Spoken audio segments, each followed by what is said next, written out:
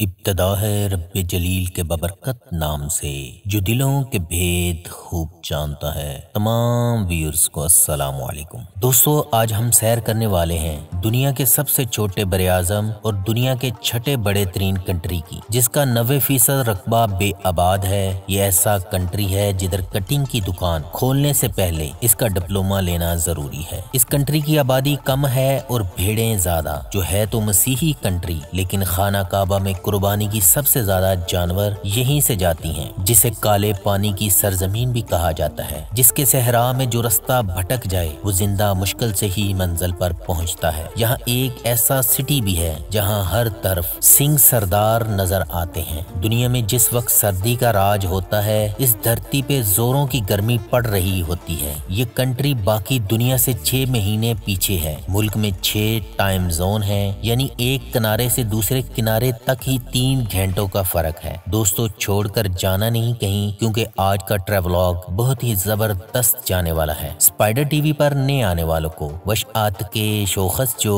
भली करे आया। बुखैर रागले, मरहबा जी आयनो खुश आमदीद और वेलकम ऑस्ट्रेलिया इसका official name Commonwealth of Australia है। क्या ये बर आज़म या कंट्री है? असल में ये बर आज़म भी है और इंतहाई अजीबो गरीब किस्म का मुल्क भी। बर आज़म खुशकी के एक बहुत बड़े कते को कहते हैं। बरआजम ऑस्ट्रेलिया भी खुशकी का बहुत बड़ा कता है, लेकिन इसके इर्द गिर्द बेशुमार छोटे मोटे जजीरे मौजूद हैं, जो खुशकी के बड़े कता वाली बर आज़म की तारीख पर पूरे नहीं उतरते। इसलिए इस रीजन को ओशियानिया कहा जाता है, जिसमें चौदह ममालिक शामिल हैं, जबकि बर आज़म ऑस्ट्रेलिया में दो ममालिक, ऑस्ट्रेलिया और पापुआ न्यू गिनी शामिल हैं, जबकि इंडोनेशिया का थोड़ा सा हिस्सा भी ऑस्ट्रेलिया में आता है। ऑस्ट्रेलिया की सरकारी ज़ुबान अंग्रेज़ी अंग्रेज़ी है और इसका लहजा मखसूस ऑस्ट्रेलवी होता है। ऑस्ट्रेलिया एक खुशहाल और मगरबी अंदाज की मीशत रखने वाला मुल्क है। इसकी फीकस आमदनी बरतानिया, जर्मनी और फ्रांस से जरा सा ज़्यादा है। इंसानी तरक्की के इंडेक्स में इसे तीसरा नंबर दिया गया है। ऑस्ट्रेलिया में बेशुमार ऐसी चीज़ें हैं जो बाकी दुनिया से मुख्तलिफ़ है। मसलन भेड़ों और कैंगरू की आबादी। मुल्क की आबादी से ज़्यादा है। ऑस्ट्रेलवी नामों को शॉर्ट करके बोलने में माहिर है। ये फुटबॉल कहने की बजाय फिट मिट्टी कहते हैं, इंजमाम को इंजी मुश्ताक को मुशी कर देंगे। ऑस्ट्रेलिया ईसाई दुनिया का वाहिद तरक्की याफ्ता मुल्क है, जिसमें प्राइमरी के बाद लड़कियों के स्कूल अलग हो जाते हैं। मुल्क में को एजुकेशन की सहूलत भी मौजूद है। वो वालदेन जो अपनी बच्चियों को मखलूत स्कूलों में पढ़ाना चाहते हैं, वो बच्चियों को मखलूत स्कूलों में भिजवा देते हैं, जबकि बाकी वालदेन लड़कों को मर्दाना स्कूलों और बच्चियों को जनाना स्कूलों में दाखिल करवा देते हैं। ये सहूलत यूरोप और अमेरिका में मौजूद नहीं। स्कूल बारह जमातों तक होते हैं, बारह दर्जे पास करने के बाद तालब इलम यूनिवर्सिटियों में चले जाते हैं। इस वक्त ऑस्ट्रेलिया का लिटरेसी रेट 99 परसेंट है। यहाँ हुकूमत की तरफ़ से वोकेशनल ट्रेनिंग के स्कूल भी कायम हैं। हज़ारों तलीमी सेंटर खुले हैं। ये सेंटर आर टी ओ यानी रजिस्टर्ड ट्रेनिंग ऑर्गेनाइजेशन कहलाते हैं। ये इदारे शहरियों को छोटे छोटे कोर्सेज करवाते हैं। हुकूमत कोर्सेज करने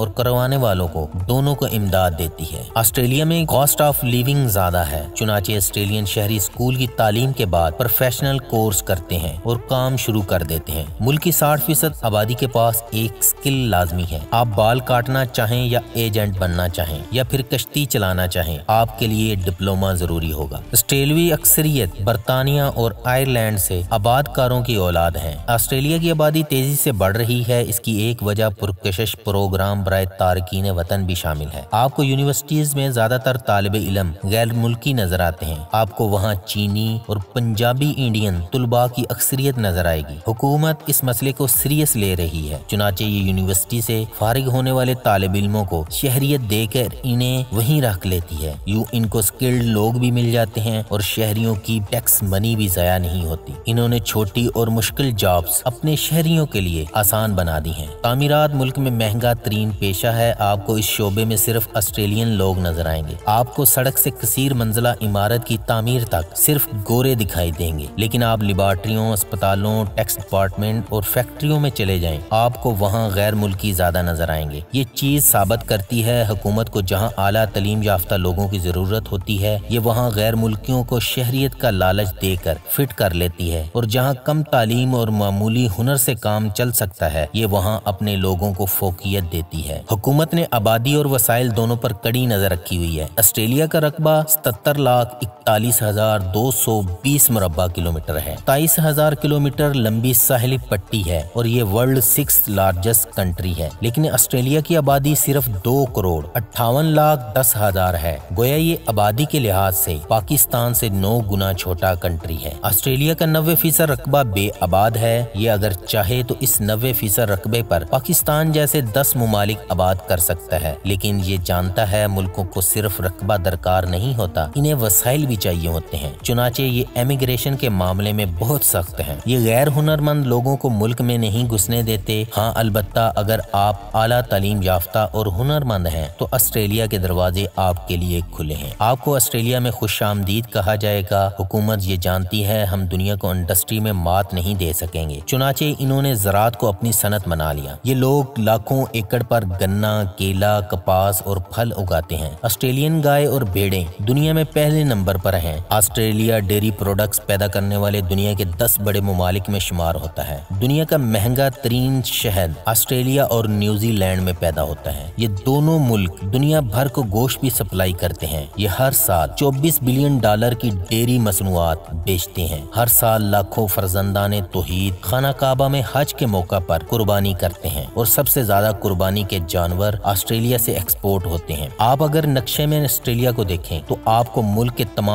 शहर समंदर के किनारे आबाद मिलेंगे। ऑस्ट्रेलिया का बड़ा हिस्सा बंजर और सहरा पर मुश्तमिल है। नक्शे पर नज़र दुड़ाएँ तो इतना सुर्ख है जैसे सियारा मरीख का कोई हिस्सा हो। ये सुर्खी यहाँ पे मौजूद सहराओं की वजह से है। दरअसल इन सहराओं की मट्टी में बड़ी तादाद में आयरन यानी लोहा एलिमेंट मौजूद है और इसी की वजह से इसका रंग इतना सुर्ख दिखता है। दुनिया में लोहे की सबसे ज़्यादा एक्सपोर्ट करने वाले ममालिक में ऑस्ट्रेलिया भी शामिल है। इसकी मट्टी सबसे पुरानी और सबसे कम जरखेज है। इसमें तस्मानिया का बड़ा जजीरा और बहरे जनूबी, बहरे हिंद, बहरुल काहिल के कई छोटे छोटे जजायर भी शामिल हैं। इसके हमसाया ममालिक में जनूब मशरक की तरफ़ न्यूजीलैंड, शुमाल मशरक की तरफ़ सोलोमन जजायर, वानो आतो और न्यू कैलिडोनिया और शुमाल में पापुआ न्यू गिनी, इंडोनेशिया, मशरकी तैमूर मौजूद है। ऑस्ट्रेलिया मीठे पानी की कमी का शिकार भी है। पानी की ये कमी इसकी आबादी के कम होने की बुनियादी वजह है। चुनाचे हुकूमत ने जदीद तरीन एरीगेशन सिस्टम ईजाद करवा लिया। ये सिस्टम पूरे मुल्क में इस्तेमाल होता है। आप इस सिस्टम से कम पानी से ज़्यादा फ़सल हासिल करते हैं। क्वींसलैंड स्टेट गन्ने और शुगर मिलों की वजह से पूरी दुनिया में मशहूर है। ब्रेसबेन से कीन्स तक सड़क के दोनों इतराफ गन्ने के खेत नज़र आते हैं। हम खेतों से गन्ना काट कर मिलों तक पहुँचाते हैं। ऑस्ट्रेलिया में ये सिस्टम नहीं है। आपको खेतों के दरमियान ही शुगर मिलें भी मिलेंगी। ऑस्ट्रेलिया में खेतों में मशीनें लगी हैं। ये मशीनें खेत से गन्ना काटती हैं। इसे छोटी छोटी गंडेरियों की तरह टुकड़ों में तोड़ती हैं। ये टुकड़े ट्रालियों में भरे जाते हैं और ये ट्रालियाँ सीधी मिल चली जाती हैं। हमारी शुगर इंडस्ट्री, ऑस्ट्रेलिया की ये टेक्नोलॉजी क्यों नहीं अपनाती? किसानों में ये तकनीक मुतारफ क्यों नहीं कराती? हमारे किसान ने अपने आप को रवायती काश्तकारी तक महदूद क्यों कर रखा है? ये सवाल बार बार मेरे जहन में आता है और मुझे कोई जवाब नहीं मिलता। दोस्तों, पूरे ऑस्ट्रेलिया में टूंटी का पानी पीने के लिए महफूज है। चुनाचे वहाँ पीएम से लेकर आम शहरी तक लोग टूंटी का पानी पीते हैं। मिनरल वाटर सिर्फ़ सफ़र के दौरान पिया जाता है। पूरे ऑस्ट्रेलिया में सेवरेज की दो लाइन इस्तेमाल होती है। एक में गटर का फुजला जाता है, जिसे शहर से बाहर डंप किया जाता है। दूसरी लाइन में बारिशी और घर के इस्तेमाल का आम पानी डाला जाता है। इसी पानी को ट्रीट करके फ़सलों और पौधों को दिया जाता है। आप अपने टॉयलेट का फ्लश सिस्टम देखिए। आपको फ्लश टैंक के साथ दो बटन नज़र आएँगे। एक बटन दबाने से पूरी टैंकी खाली हो जाती है, जबकि दूसरे बटन से सिर्फ़ आधा टैंक इस्तेमाल होता है। ये सिस्टम ऑस्ट्रेलिया ने इजाद किया और ये इस वक्त पूरी दुनिया में राइज है। इससे पानी की बचत होती है। हम कमाल लोग हैं। हम दरियाओं को समंदरों में गिराते हैं और इसके बाद बाल्टियाँ उठाकर गली गली पानी की भीख मांगते हैं। हम बरसात में डूब कर मर जाते हैं और बाकी नौ महीनों में बारिश की दुआएँ करते हैं। और कमाल लोगों को टेक्नोलॉजी की ज़रूरत नहीं हुआ करती। इन्हें सिर्फ़ बजाने के लिए ढोल, वोट डालने के लिए बिरयानी की एक प्लेट और हुक्मरानों के लिए बनारसी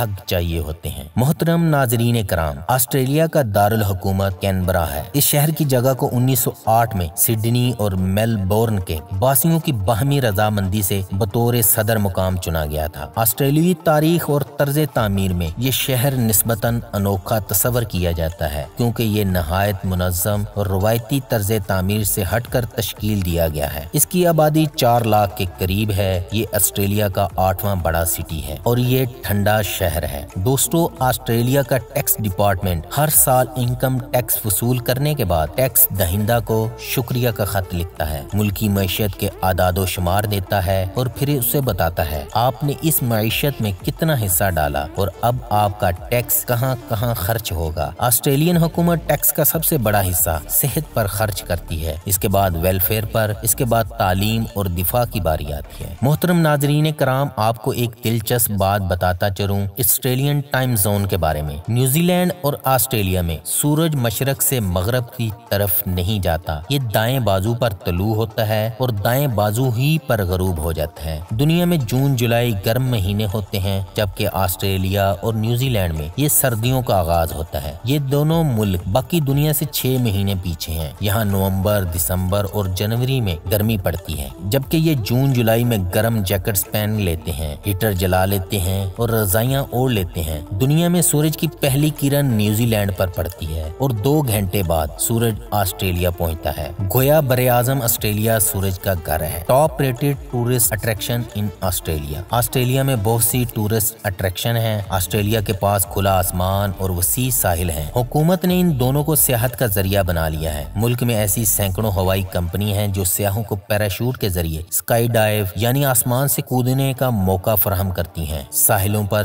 स्कूबा डाइविंग भी कराई जाती है। आपकी पुश्त पर ऑक्सीजन का सिलेंडर बाँध कर गहरे पानी में फेंक दिया जाता है और आप पानी में नीचे जाकर आप भी ज़िंदगी देखते हैं। सिडनी, ऑस्ट्रेलिया का सबसे बड़ा सिटी है। सिडनी में तिरपन लाख सत्तर हज़ार लोग रहते हैं। सिडनी एक धीमा, खुला और हवादार शहर है। ऑस्ट्रेलिया के रकबे में सिडनी का हिस्सा बारह हज़ार तीन सौ सतासठ मुरबा किलोमीटर है। सिडनी का होंडाई बीच बहुत मशहूर है। इसके अलावा सिडनी हार्बर ब्रिज भी देखने के लायक है। लेकिन सिडनी का नाम आते ही, जिस चीज़ का नाम ज़ुबान पर पहली मरतबा आता है, वो है सिडनी ओपेरा हाउस। सिडनी का ओपरा हाउस एक अजीम अमारती तखलीक है। अमारतें दुनिया की तमाम बड़ी तहजीबों की निशानियाँ होती हैं। लिहाजा सिडनी का ओपरा हाउस ऑस्ट्रेलिया की पहचान है। यूनेस्को ने इसे 2007 में आलमी विरसा करार दिया। ये अमारत दूर से हवा में तैरते हुए बादल दिखाई देती है। इसका तस्वर बरतानिया के मशहूर मौसीकार, यूजीन ऑन्सले गोन्सन्स ने दिया था। वज़ीर आज़म ने डिज़ाइन के लिए बैन अवी मुकाबला कराया। डेनमार्क के डिज़ाइनर जॉन अटजोन का डिज़ाइन पसंद कर लिया गया। अटजोन ने सिडनी हार्बर पर बादलों का टुकड़ा डिज़ाइन किया। दुनिया में इससे कबल कंक्रीट का इतना बड़ा मंसूबा नहीं बना था। हुकूमत ने ओपरा हाउस के लिए लॉटरी जारी की, रकम जमा की और उन्नीस में तामीर शुरू कर दी। अटजोन ने दिन रात एक कर दिए मनसूबा पाया, तकमील तक पहुँचता रहा। लेकिन ओपरा हाउस की कमेटी और अटजोन में इख्तलाफात पैदा हो गए यहाँ तक कि अटजोन दिल बर्दाश्ता होके डेनमार्क वापस चला गया। हुकूमत ने अटजोन के जाने के बाद काम जारी रखा। ओपरा हाउस दिसंबर 1972 में मुकम्मल हो गया। ये इस वक्त तक एक नाकाम मंसूबा था। लेकिन ये जो ही मुकम्मल हुआ, ये दुनिया की हैरान कुन अमारत बन गया। हुकूमत को उन्नीस में अटजोन के साथ होने वाली ज्यादती का एहसास हुआ। चुनाचे हुकूमत ने इसे सिडनी आने और अपने मास्टर पीस देखने की दावत दी। लेकिन अटजोन उस वक्त तक बूढ़ा भी हो चुका था। और वो अलील भी था। आप ट्रेजिडी देखिए। दुनिया से हर साल बयासी लाख लोग ओपरा हाउस देखने सिडनी आते हैं। लेकिन जॉन अटजोन 2008 में अपना तख्लीक करदा मास्टर पीस देखे बगैर दुनिया से रुखसत हो गया। मेलबोर्न दरिया यारा पर वाक़ यूरोपी तर्ज तामीर वाला ऑस्ट्रेलिया का दूसरा बड़ा सिटी है। आप अगर सिडनी से बाई जानब चले तो मौसम सर्द होता जाता है और मेलबोर्न सिडनी से ज़्यादा ठंडा है। मेलबोर्न के मजाफात में कई अट्रैक्शन है, जिसमें पहले नंबर पर जो आती है, वो है बेलारट, यानी सोने का पहाड़। ये मेलबोर्न से ज़्यादा दूर नहीं, आप डेढ़ घंटे में वहाँ पहुँच जाते हैं। लेकिन जो ही कस्बे में दाखिल होते हैं, ये बस्ती आपको पौने 200 साल पीछे ले जाती है। ये कस्बा अठारह तक तारीख के गुमनाम सफों में गुम था, लेकिन फिर सावरन हिल पर एक वाक़ा पेश आया और बेलारट पूरी दुनिया में मशहूर हो गया। लोगों को सावरन हिल से उतरने वाले चश्मे से अचानक सोना मिलने लगा। चश्मे की रेत, पत्थरों और मट्टी में सोने के जरात थे। ये खबर जू ही कस्बे से बाहर निकली, दुनिया जहाँ के मुहिम जू सावरन हिल की तरफ़ दौड़ पड़े। ऑस्ट्रेलियन तारीख में लोगों की ये दौड़ गोल्डन रश कहलाती है। दुनिया से सोना निकालने की टेक्नोलॉजी भी इसी जगह पैदा हुई और ये गोल्डन रश 1918 तक जारी रहा। सावरन हिल पर आजकल तफरीही मकाम है। यहाँ हर साल साढ़े पाँच लाख लोग आते हैं। आप बेलारोट में फिरते हुए महसूस करेंगे, इंसान का सबसे बड़ा मर्ज लालच है। सावरन हिल आज भी डेढ़ सौ साल पुरानी मार्केट मौजूद है, ये दुकानें इसी नाम से कायम है, जबकि सोना तलाश करने वालों के खेमे बेआबाद हो चुके हैं। मेलबोर्न के करीब दूसरी देखने की जगह हील्स विले की सेंट कचरी है। ये गाँव अपने चिड़ियाघर की वजह से पूरे ऑस्ट्रेलिया में मशहूर है। चिड़ियाघर में तीन दिलचस्प चीज़ें हैं। आप जो ही इसमें दाखिल होते हैं, महसूस होता है आप जंगल में आ गए हैं। जानवर और परिंदे आपके दाएँ बाएँ घूम फिरते हैं। दूसरा तजर्बा आबी परिंदों का सेक्शन है। और आबी परिंदों को चटानों पर बैठे पानी में उतरते और भागते दौड़ते देखते हैं। लेकिन सेंकचरी का सबसे शानदार तजर्बा जानवरों का अस्पताल है। इसके एन दरमियान अस्पताल की खूबसूरत और जदीद इमारत है। अस्पताल में जानवरों का इलाज और ऑपरेशन तक होता है। मेलबोर्न की तीसरी बड़ी अट्रैक्शन है गम्बोया पार्क। ये लोग दुनिया भर से यहाँ आते हैं, कैंगरूज कवाला और लामा। ये तीनों जानवर एक ही जगह सिर्फ़ ऑस्ट्रेलिया में पाए जाते हैं। कंगारू अल्लाह तला का अजीम मुआजा है। ये जानवर पिछली दो टांगों पर लंबे लंबे जंप लगाता है। मादर कैंगरू के पेट पर छोटी सी थैली होती है। इसका बच्चा इस थैली में पैदा होता है। ये जू ही अपने कदमों पर खड़ा हो जाता है। माँ इसे थैली से बाहर निकाल देती है। लामा तवील कामत ऊँट की तरह लंबी गर्दन और धड़ भेड़ की तरह होता है। ये शरारती जानवर है। ये खाई हुई खुराक फूक करके किसी न किसी पर फेंक देगा। कोआला भी ऑस्ट्रेलिया का जानवर है। ये दुनिया के सुस्त तरीन जानवरों में शुमार होता है। ये सारा सारा दिन सोए रहते हैं। आपको कोवाला शाजो नादर ही जागते नज़र आएँगे। मेलबोर्न के असर अट्रैक्शन फ्लिप आइलैंड है। ये मेलबोर्न के मजाफात में पुल के ज़रिए खुश्की से जुड़ा हुआ एक छोटा सा जजीरा है। ये 26 किलोमीटर लंबा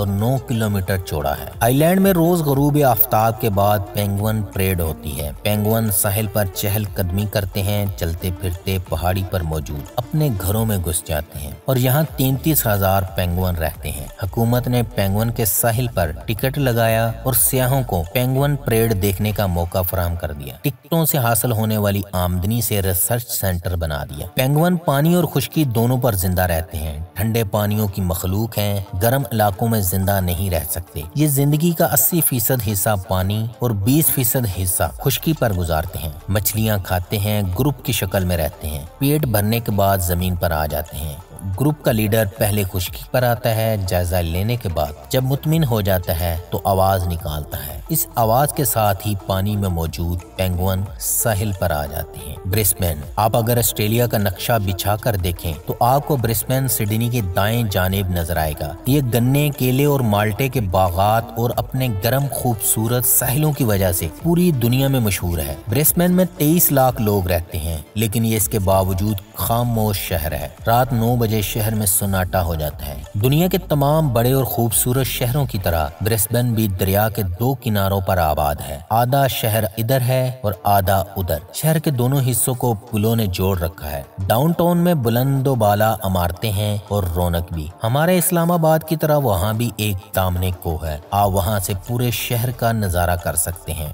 दरिया के जनूबी किनारे पर मसनू बीच भी है। स्विमिंग पूल भी, पार्क भी और सड़क के साथ साथ रेस्टोरेंट और काफ़ी शॉप भी। इस जगह रौनक रहती है, ये शहर गोल्ड कोस्ट की वजह से। दुनिया भर के सियाहों की हतमी मंजिल है। चुनाचे आपको शहर में दुनिया जहाँ के लोग मिलते हैं। गोल्ड कोस्ट ब्रिस्बेन से पौने घंटे की ड्राइव पर है। ये साहिल सफ़ेद, गर्म रेत, नीले पानी और साफ़ आसमान की वजह से मशहूर है। हुकूमत ने साहिल के साथ साथ दर्जनों स्पॉट बना दी है। सरफेस पैराडाइज में भारतीय ज़्यादा है, ये नौजवान रेस्टोरेंटों और दुकानों में काम करते हैं। हुकूमत यहाँ काम करने वालों को पासपोर्ट जल्दी दे देती है। Byron Bay. ये गोल्ड कोस्ट पर दूसरा बड़ा और मशहूर मकाम है। ये शहर हप्पियों की जन्नत कहलाता है। आपको सहेली इलाकों में सैकड़ों की तादाद में हैप्पी नज़र आते हैं। ये लोग तहजीब, कानून और माशरत को तस्लीम नहीं करते। ये शराब पीते हैं, चरस के मरगोले उड़ाते हैं, नाचते हैं और गाते हैं। और ये ज़िंदगी का सफ़र मुकम्मल करके और इसी तरह दुनिया से रुखसत हो जाते हैं। ग्राफ्टन सिटी दो हवालों से मुनफरद है। शहर के मुजाफात में वूल गुलगा का टाउन है। है, कस्बे में केले के मीलों तक फैले बागात हैं। दूसरा हवाला सिख है। ये सिख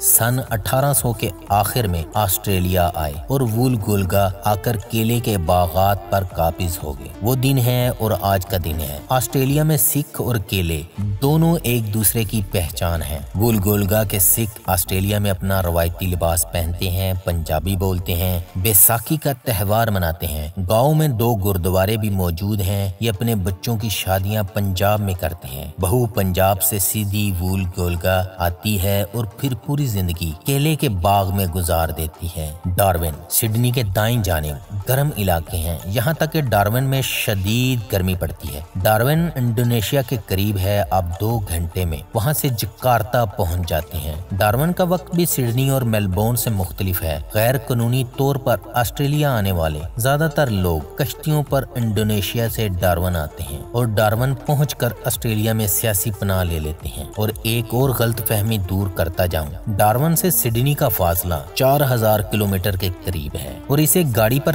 तय करने के लिए बतालीस घंटे चाहिए। तस्मानिया कोई मुल्क नहीं, तस्मानिया समंदर में गिरा हुआ ऑस्ट्रेलियन जजीरा है। ये जजीरा न्यूजीलैंड के करीब है, इसका माजी इंतहाई जालमाना है। सफ़ेद फार्म यूरोपियों ने तस्मानिया के पूरे जजीरे को घेरे में ले लिया था। पलावा कम्युनिटी को ज़बरदस्ती गिरजाघरों में दाखिल किया गया, जिसने बगावत की हड़का दिया गया। आज सिर्फ़ तेईस हज़ार अबूर जीन्स नस्ल के लोगों की है। ये इलाका जंगलात से माला माल है और यहाँ के जानवर भी दुनिया से अनोखे हैं। इसीलिए इस इलाके की आमदनी का बड़ा ज़रिया, सियाहत है। ऑस्ट्रेलिया हिस्ट्री के बारे में बताता चलूँ। हज़ारों साल कबल इस खत्ते को जनूब मशरकी एशिया से आए हुए माही गिरों ने आबाद किया। ये बुनियादी तौर पर शिकारी लोग थे। हालैंड के जहाज़ रानों ने 1606 में कुतुब जनूबी की तरफ़ सफ़र शुरू किया। William jeans zone, New Guinea पहुँचा। ये ऑस्ट्रेलिया भी आया। यहाँ लोग मौजूद थे। यूरोपी बाशिंदों ने इन इंसानों को अब ओरिजिनल का नाम दिया। ये नाम और ये बाशिंदे आज तक ऑस्ट्रेलिया की नॉर्दर्न ट्रिनिटी में सबसे ज़्यादा तादाद में मौजूद हैं। विलियम की मकामी बाशिंदों से जंगे हुई, सुलह हुई और ये अपने लोगों और मकामी लोगों के साथ ज़िंदगी गुजारने लगा। लेकिन फिर मकामी खातन पर दस्त दराजी की वजह से इसकी लड़ाई हुई और मकामी लोगों ने इसे वापस हालैंड जाने पर मजबूर कर दिया। पर ऑस्ट्रेलिया का लफ्ज अंग्रेज़ी में पहली बार 1625 में इस्तेमाल किया गया, लातीनी में जो जनूब में हो, उसे ऑस्ट्रेलियस कहते हैं। विलियम के बाद स्पेन का जहाज़ रान लुइस वेस डी टोरस आया, लेकिन मकामी आबादी ने इसे भी भगा दिया। 1622 में बरतानवी जहाज़ रानों ने ऑस्ट्रेलिया पर दस्तक देना शुरू की, लेकिन ऑस्ट्रेलिया को बरतानिया की कॉलोनी कैप्टन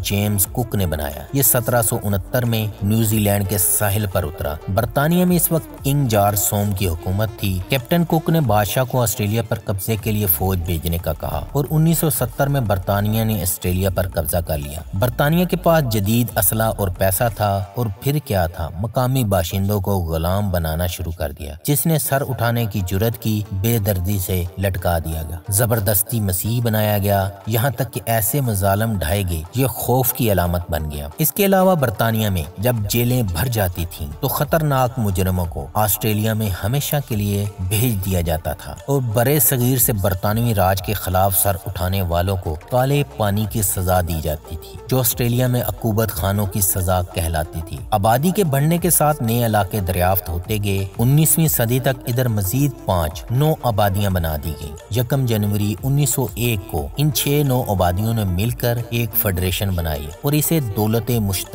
ऑस्ट्रेलिया का नाम दिया, जिसके बाद ऑस्ट्रेलिया आज तक बरतानिया के जेर असर है। बरतानवी मलका आज भी ऑस्ट्रेलिया और न्यूजीलैंड की मलका है और यहाँ की फौज रॉयल आर्मी कहलाती है। हुकूमत को मुंतखब आवाम करते हैं, लेकिन ये वफादारी का हल्फ मलका बरतानिया का उठाती है। Culture of Australia. 1788 से लेकर 20वीं सदी तक एंग्लो सेल्टिक अंदाज की सकाफत ऑस्ट्रेलिया में मौजूद रही। गुजशत 50 सालों में ऑस्ट्रेलियाई सकाफत पर अमरीकी सकाफत और अंग्रेज़ी ज़ुबान न बोलने वाले ममालिक के तारकिन वतन लोगों और ऑस्ट्रेलिया के एशियाई हमसायों का गहरा असर पड़ा है। रिलीजन के बारे में बताता चलूँ, सरकारी तौर पर ऑस्ट्रेलिया का कोई मज़हब नहीं है। 2006 के सर्वे से ज़ाहिर होता है कि कुल आबादी का 60 फ़ीसद हिस्सा मसीही है। 19 फ़ीसद लादीन कहलाते हैं, दो इशारिया छह फ़ीसद मुस्लिम, दो इशारिया चार फ़ीसद बुद्ध, एक इशारिया आठ फ़ीसद हिंदू और सिख, बाकी दीगर मजाहब के मानने वाले हैं। खेल का ऑस्ट्रेलवी सकाफत पर बहुत गहरा असर है। ऑस्ट्रेलिया की cricket, hockey, netball, rugby league, rugby union, cycling, कश्तीरानी और तैराकी में बहुत उम्दा टीमें हैं। ऑस्ट्रेलिया क्रिकेट का तो बेताज बादशाह है ही। 2000 से लेकर अब तक ऑस्ट्रेलिया पहले पाँच सबसे ज़्यादा तगमे लेने वाले ममालिक में शामिल है। ऑस्ट्रेलिया का dialing code plus sixty one है और डोमेन नेम ए यू है। मोहतरम नाजरीन कराम 2019 के आखिर में जंगलों में खतरनाक आग लगी थी। ऑस्ट्रेलिया में जंगलात के मजमू रकबे का तीन हिस्सा सफेदा के दरख्तों पर मुश्तमिल है। आग के बड़े पैमाने पर फैलाव का सबब यही दरख्त है। और ये दरख्त हमारे यहाँ भी सफेदा ऐसे लगाया जाता है जैसे इससे बेहतर कोई दरख्त ही नहीं है। आज ये हमारे सरों पर लटकती हुई तलवार से कम नहीं है। ग्रेट बैरियर रीफ जिसे दुनिया की सबसे बड़ी मूँगे की चट्टान होने का दर्जा मिला हुआ है 2000 किलोमीटर पर फैली हुई है। माउंट अगस्टस को दुनिया की सबसे बड़ी चट्टान माना जाता है। माउंट कोजियस्को को सबसे बुलंद पहाड़ होने का दर्जा मिला हुआ है, जो 2228 मीटर बुलंद है। ऑस्ट्रेलिया का सबसे बड़ा दरिया, मुरी रिवर है। इसके अलावा ऑस्ट्रेलिया में चार छोटे छोटे दरिया बहते हैं, जबकि दरिया डार्लिंग भी अपने नाम की वजह से मशहूर है। दिलचस्प और अजीब। ऑस्ट्रेलिया में एक इलाका है। इस जगह पे एक सुर्ख रंग का खूबसूरत केकड़ा पाया जाता है। ये केकड़ा हर साल अक्टूबर से नवंबर तक इस इलाके से समंदर की तरफ़ हिजरत करता है। ये इनका ब्रीडिंग सीज़न होता है। इसके लिए इनको सड़क पार करके समंदर तक पहुँचना होता है। हुकूमत ने जब देखा कि हज़ारों केकड़े गाड़ियों के नीचे आकर मर जाते हैं तो हुकूमत ने केकड़ों की आसानी के लिए पुल बना दिए, ताकि वो इस जगह से गुजर कर समंदर तक पहुँच सके। और जहाँ पुल नहीं, वहाँ साइन बोर्ड लगा दिए गए हैं। इससे आगे गाड़ी नहीं गुजर सकती। दोस्तों, ये थी आज की वीडियो। वीडियो को लाइक और शेयर ज़रूर किया करें। वीडियो को शेयर करने से हमारा हौसला बढ़ जाता है। नई वीडियो बनाने में हेल्प आउट करती है। अल्लाह हम सब का हामी नासिर हो।